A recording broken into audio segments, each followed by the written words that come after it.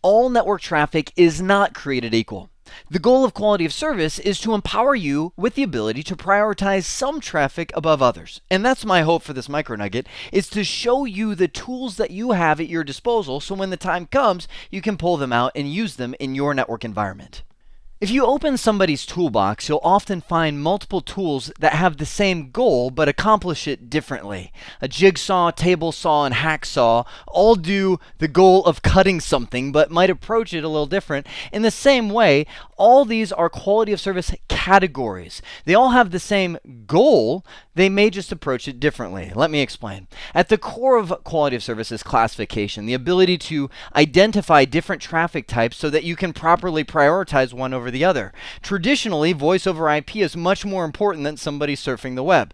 Classification allows me to use a tool like an access control list or network based application recognition to catch the data coming into this router and say, oh, that's VoIP. Oh, that's YouTube surfing. Uh, not that that's bad. And then prioritize one above the other. Marking is actually one of the optional phases of quality of service. What it involves is tagging the packet as it comes in. It says, okay, well, voice over IP, I'm going to color you blue so that all the routers in the future can recognize that that is a voice over IP packet without using a deep packet inspection like these guys, which could cost you some processor cycles. Marking tools might include a class of service, which allows switches to see what's going on, or type of service, which is something that routers use at layer 3 in the header to be able to identify traffic. Policing is your only anti quality of service tool, the one that takes away bandwidth. You know, those peer to peer file sharing applications. True story a friend of mine worked at a college university and completely blocked peer to peer file sharing, and the students sued the campus for freedom of speech and won. Welcome to America, right? So he had to allow peer to peer file sharing because it's a freedom of speech issue, but he throttled it down to such a low amount that it became virtually useless anyway, using some pretty awesome policing tools. Policing allows you to set an upper limit, say something crazy like 10 kilobits per second. Uh, and when traffic hits that amount, it cuts it off and says you will be dropped as you go above that.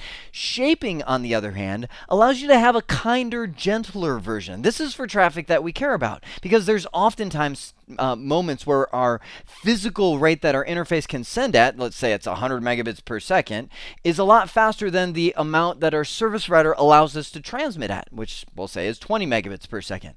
If I use shaping, what it allows me to do is to throttle this down, but queue the excess traffic, meaning hold it in memory and try to transmit it at a later time. Whereas policing is like, you're cut off, buddy. So shaping a lot of times is used in things like frame relay or, you know, essentially any kind of network where your physical line rate uh, does not match what the service provider allows you to send at.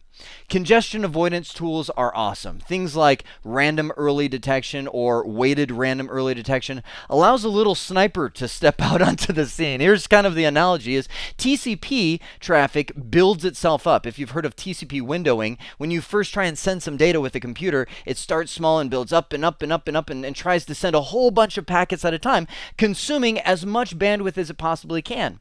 Well, congestion avoidance, get the term, avoids congestion in the first place, that as things build up to a certain threshold, the router's like, oh man, we've got to slow this guy down before he completely consumes our entire uh, bandwidth amount. So a little sniper comes out and starts shooting random packets. That's why they call them random early detection tools. Random packets in that stream because as soon as TCP starts realizing it's dropping packets, it goes ooh and shrinks that window size down and automatically slows that guy down before he starts consuming all the bandwidth. Way cool stuff there.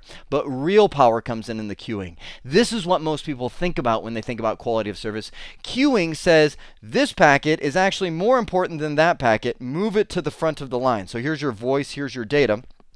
And inside the queue, meaning as these, these packets are waiting in line to be transmitted, the router can shuffle them around to put the most important traffic first. A lot of common queuing tools include low latency queuing. That's the powerhouse uh, tool that kind of encompasses all of them. But you also have class based weighted fair queuing. Uh, you have uh, old school methods like priority queuing or custom queuing. I mean, there's a lot of queuing tools that are out there, each one with their own slant. Again, multiple tools in the toolbox with the same goal, but approaching it differently.